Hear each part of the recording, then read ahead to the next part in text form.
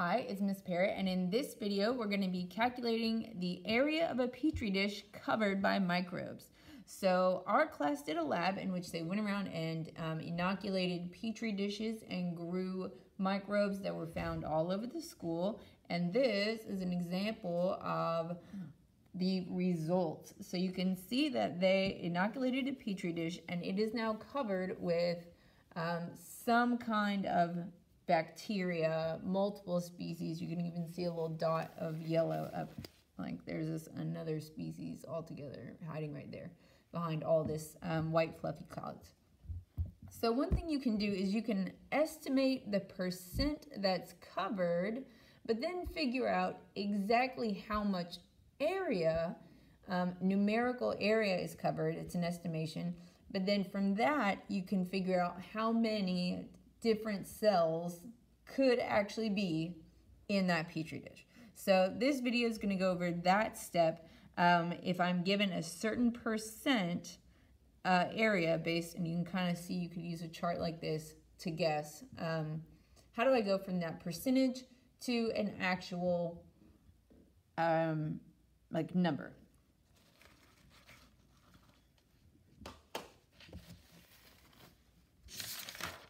We're going to work three practice problems.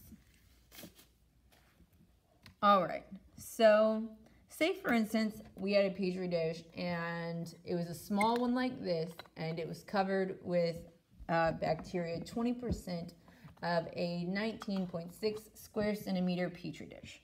So the first step is you turn this percentage from a percent into a decimal because you can't exactly put 20%, there's no like percent button in here. So you have to figure out what that is. So you can either write 20% as a fraction, 20%, that means out of 100, and do that in your calculator and write 20 out of 100 and see that that is 0.2. So or you can know that if you have 20% and you can just move the decimal two places to the left, that's the same thing as dividing by 100. That would also give you 0.2. So step one, right, or step A, I guess, take your percentage and turn it into a decimal. And then, so 0.2. Anytime you see the word of, this indicates that we should multiply. So 0.2 of a 19.6 square centimeter petri dish. So that's the total, 19.6 centimeters squared, right? Because our goal, again, what we're doing is we're trying to figure out or estimate how much area is actually covered by microbes. And you just put this in your calculator, 0.2 times 19.6 centimeters squared that's going to give us, and we're we're using tenths. We're at the in the tenths party today, so two rounds down, so 3.9. Got to keep those units centimeters squared.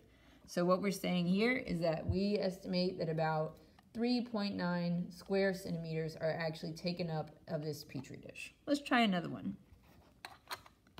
So in this case, we have a larger petri dish. So we're saying if about 50% of a 63.6 centimeter squared petri dish is covered, how much area is that actually? Now there's a couple ways to do this.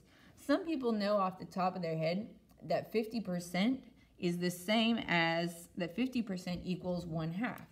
And so you could do one half, one half of, again, that's multiplying the total 63.6 centimeters squared.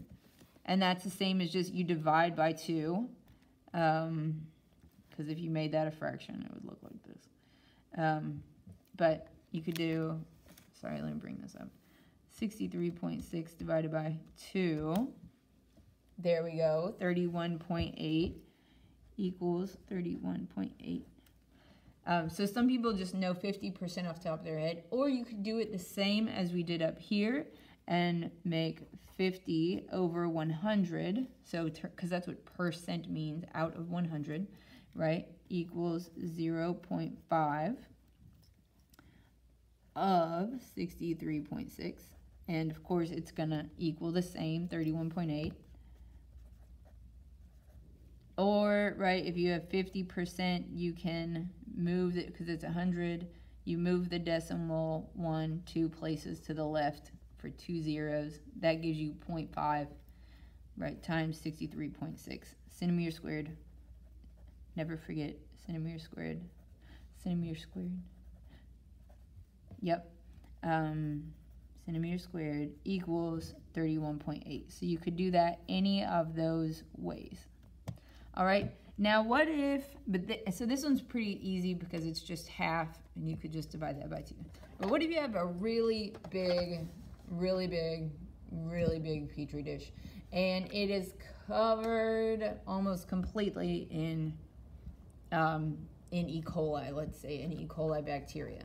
So let's do this one and I'm just to do it to where I know I'm going to just kind of move that decimal two places to the left. So 80% as a decimal is 0.8 of the grand total, which was 153.9 square centimeters, um, equals, and I just want to remind us, so what 153.9 square centimeters means is if I had a square that was a centimeter by a centimeter, I could fit 153.9 of them in here. That's what that means. All right, um, but I'm gonna use my calculator here and 0.8 times 153.9 equals 123 point, we're rounding to the 10th place, so 123.1.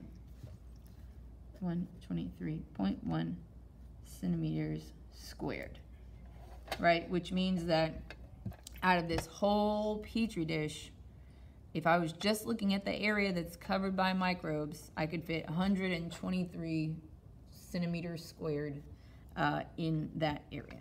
So that's how you do it. It's really simple. And what's great is now that we know the area covered by microbes, if we can figure out how big one microbe is, we can actually determine how many cells are covering these petri dishes, which is going to be in the billions and millions, hundreds of millions and billions. So that's pretty cool. I hope this helped.